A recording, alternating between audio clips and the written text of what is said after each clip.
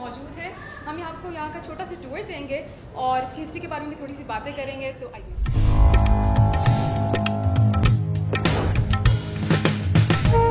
शीश महल को अंग्रेज़ी में मिरर पैलेस कहा जाता है। ये 1632 में कंप्लीट हुआ था और जैसे कि आप देख सकते हैं कि ये फाइनली कट शीशों से बना हुआ है। कितना खूबसूरत से पैटर्न लग रहा है। डिफरेंट कलर्स जिसमें आपको नज़र आ रहे हैं फ्लावर्स और ये सारे।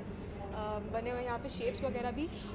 शाहजहाँ ने बेसिकली अपनी बीवी मुमताज़ महल के लिए बनवाया था, लेकिन अफसोस की बात यह है कि जैसे ये बना तो उनकी इंतकाल।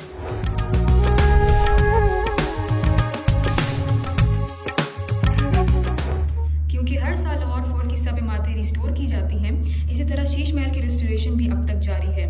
यहाँ पे दीवारों पे वाइट वॉश की जाती है, लेकिन इसका ये नुकसान है कि शीश महल की सारी फ्रेस्को पेंटिंग्स क्योंकि मुगलाई दौर में इलेक्ट्रिसिटी यानी बिजली नहीं थी। तो इसीलिए शीश महल कुछ ऐसे बना है कि शीशों की वजह से ये रात की वजह रात के वक्त खुद ही रोशन हो जाता है। और तो और, लाहौर फोर्ट के एक लोकल गाइड ने हमें ये भी बताया है कि सिर्फ़ दो कैंडल लाइट जलाने से पूरा महल रोशन हो जाता है, क्योंकि हर तरफ़ शीशों से लाइट रिफ्लेक्ट होती है। इसी तरह फुटेज में भी देख सकते हैं कि चूँकि यहाँ पे कैंडल लाइट मौजूद नहीं थी तो हमने अपनी फ़ोन्स की फ्लैश लाइट से जब ऊपर लाइट चलाई तो सारा कुछ रोशन हो गया। और जब यहाँ सिख है, यानी रंजीत सिंह तो उन्होंने यहाँ बिल्कुल इसके ऊपर एक हरम बनवा दिया था, जिसकी वजह से अभी भी इसकी सीलिंग काफ़ी डैमेज हुई। और 2006 से यहाँ पे गवर्नमेंट की तरफ़ से रेस्टोरेशन के काम चल रहे हैं और आज तक चल रहे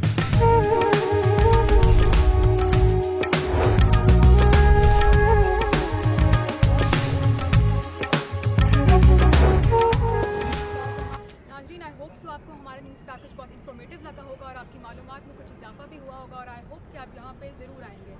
जी, आप इजाज़त दीजिए मुझे। मैं हूँ आपकी reporter Rasma Riaz with cameraman Meera Maqsood. देखते रहिए ए न्यूज़